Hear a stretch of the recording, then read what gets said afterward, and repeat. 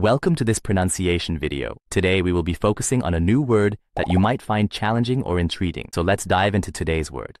Amtierende, which means currently holding a position or title, typically used in political contexts. Let's say it all together. Amtierende. Amtierende. Amtierende. One more time. Amtierende. Amtierende. Amtierende. Thank you for joining us on this adventure in pronunciation. Remember, language is a journey, not a destination. Keep exploring, experimenting, and expanding your linguistic horizons. We'll see you next time.